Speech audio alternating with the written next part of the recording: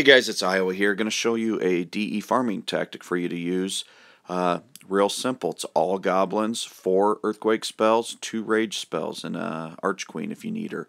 You see what uh, Raiders does here is he drops four earthquake spells, opens it up. Uh, we call this the GoVi attack, and that's goblins plus Javi equals GoVi. Raider's real name is Javi, so uh, we named it after him, trademark after him, because he's the one that's been doing this for months. Prior to the earthquake spell, he uh, used jump spells. You see there that uh, earthquake's eight tiles wide. It's eight wall sections wide. So what he's doing now is he's setting the funnel. Uh, much like a war attack, if you're going to set the funnel so your P.E.K.K.A.s or your Valkyries and heroes don't run on you, you need to set a wide funnel with collectors and storages for your goblins. And then he just drops true, two rage spells to get him into the DE drill. Three finger drops all the goblins and just lets him uh, go to work. You see all the, you know, this is a max level Town Hall 10 defensive base. The Teslas are up, Infernos are up, Arch Towers. Pretty much everything is maxed on this, and it doesn't matter. He comes in there, drops his goblins and his Arch Queen up top to clean up that drill.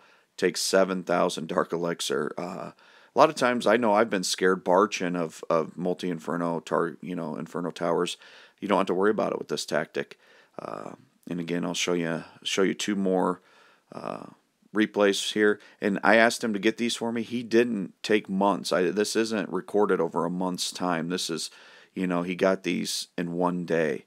Uh, he's just doing this back to back, and so you can farm over 100,000 elixir per day with your barracks boost. It, it, it's ridiculous.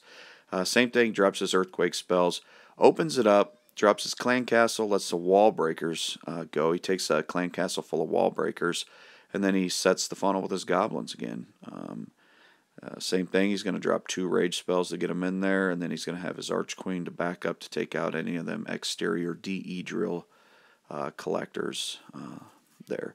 And so he's he's setting it up top a little more just because he's worried about making sure that the uh, that the goblins don't go don't go running on him. Drops his two rage spells here, and then he just you know two finger drops these goblins in, into the core. And and that's the thing about the deployment. Don't just one finger drop them. There's so much DPS, and and the goblins aren't that tough. Uh, with with X-Bows, Infernos, Teslas, everything raining down. At least two finger, if not three finger, drop them, and they're just so you can just overwhelm all the defenses and you can get to the collector, uh, the D, excuse me, the DE um, storage in time. Uh, and again, you get good incidental loot with this as well. I mean, you're targeting uh, Dark Elixir, but you're going to get plenty of gold and regular Elixir as well. Uh, and so we'll show uh, one last uh, replay and just show you Uh, how, how well it works. I mean, this this storage is guarded by three X-Bows, the two, you know, Inferno towers, and it it just doesn't matter. He drops. He's going to drop his earthquake again here. Open himself all the way up into the core. Doesn't need the wall breakers this time. Sets the funnel with the goblins, and then he's still got 170 plus left, where he's just gonna, you know, just drop them, let them go to work. Drops his rage spells here, just to propel him, and then like we've seen three finger drops. Them goblins just they go in there. They they do a lot of damage on the collectors. I mean it's it's a cheap way to farm. You have to spend a little bit with the earthquake spells but but it's just it's easy and you make lots of loot. If you like this video guys please uh, like it subscribe.